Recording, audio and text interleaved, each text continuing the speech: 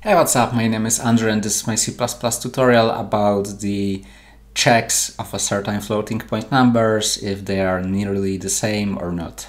So pretty much when you have your floating point numbers, uh, there's a problem that they might be with a difference of like 1 of a 10,000 or whatever.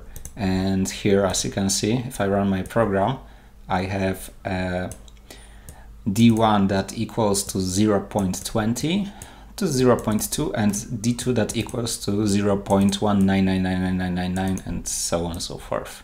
And therefore d1 is not equal to d2, even though in most cases if you use a calculator or whatever, this equation will return 0.2 and still if you check if it's equal, eh, you might get an error because that's how floating point numbers pretty much work and it's really problematic to sometimes work on that and therefore I have some solutions for you and the first one is simply to use uh, numeric limits that allows you to use epsilons. Epsilons are just the difference between one of a certain floating point type and the next possible number that can be represented by this type. And also I'm multiplying that by the absolute value of the sum and then the amount of units in the last place. The units in the last place are just uh, the least significant bits, so the amount of them. And for that I will use an integer that will tell me how many units in the last place I'm using. I will also add them to my cout. And also I will call the whole function.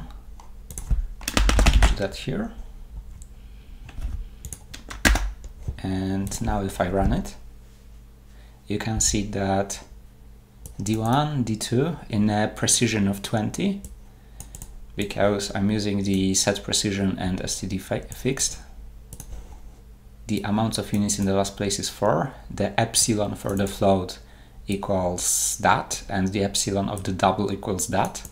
And the absolute value between those two is zeros and 2776 in set precision of 20 and the value of epsilon of a certain type, in this case a double, times the absolute value times the units in the last place makes that d1 almost equals d2. This function, as you can see, it cannot be used on integers, therefore I made a statement that it cannot be an integer type for a pass type to this function and also uh, the return type is boolean. So it returns whether or not the absolute value of subtraction of the of my x and y is less or equal to the val. And the val is simply the epsilon times absolute value times LP, which returns me a quite nice value to check whether or not there's a slight difference. And I can just increase like the precision by increasing the amount of units in the last place. But this is not the only way to solve that. There are also plenty more. The next one will be to use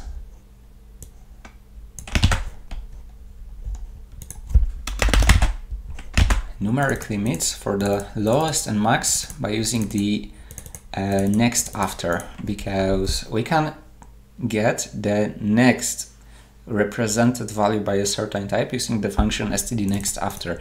The problem is the number is really low and you might not even see the difference. So we can change that to some temporary value, some small value like some small number that will show actual difference unlike next after. For example, we can say 0.0005 and then the next val equals to a minus some small number and next val up a plus some small number. And here I'm just checking if b is in the bounds of the a and I mean the a with the next val up and down from A if B is, is in bounds because uh, I'm checking the bounds for A like what's the next value down and up and then I'm checking just if B in those bounds therefore I can know if they're pretty much the same or not. So right now I can just run this function.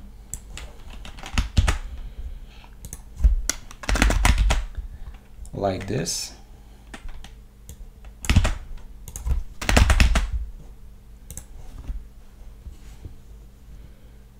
and I know that D1 and D2 are the same, I mean pretty much the same because you can see there's little to none difference.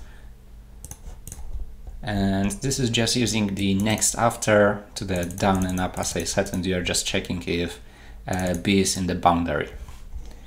And another one of the solutions, of course there's tons of different solutions and you might even figure your own, is, oh sorry, this if statement goes there.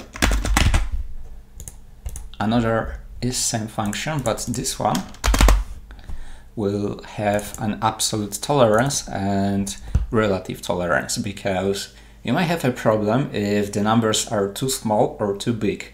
Therefore, you can multiply stuff and also check the maximum from the absolute tolerance and use the relative tolerance to make sure that numbers are not too big, not too small. Therefore, you will get an exact value of is if they are pretty much the same or not.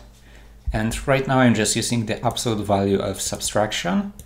And if that's less or equal to max value, either the absolute or uh, relative tolerance times maximum of absolute from A and B.